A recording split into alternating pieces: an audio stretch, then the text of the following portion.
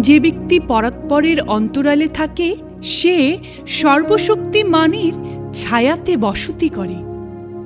আমি সদাপ্রভুর বিষয় বলিব, তিনিই আমার আশ্রয়, আমার দুর্গ, আমার ঈশ্বর, আমি তাহাতেই নির্ভর করিব।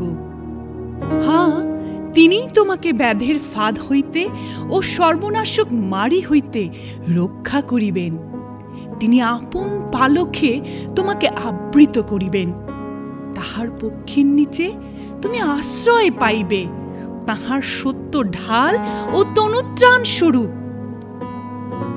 তুমি ভীত হইবে না রাত্রির ত্রাস হইতে, দিবসে উড্ডীয়মান স্বর হইতে, তিমির বিহারী মারি হইতে, মধ্যাহ্নের সাংঘাতিক ব্যাধি হইতে। পড়িবে তোমার পার্শ্বে সহস্রজন, তোমার দক্ষিণে দশ সহস্রজন।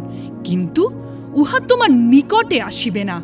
তুমি কেবল সচক্ষে নিরীক্ষণ করিবে, দুষ্টগণের প্রতিফল দেখিবে। হ্যাঁ সদাপ্রভু, তুমিই আমার আশ্রয়। তুমি পরৎপরকে আপনার বাসস্থান করিয়াছ। তোমার কোনো বিপদ ঘটিবে না।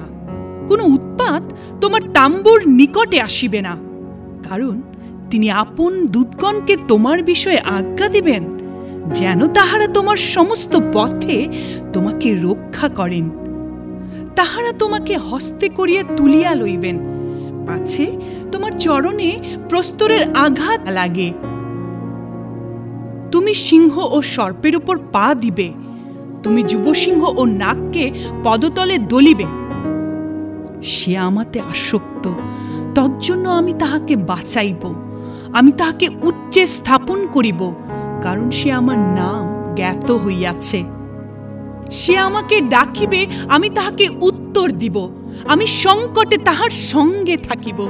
আমি তাহাকে উদ্ধার করিব, গৌরবান্বিতও করিব। আমি দীর্ঘ আয়ু দিয়া তাহাকে তৃপ্ত করিব। আমার পরিত্রাণ তাহাকে দেখাইব।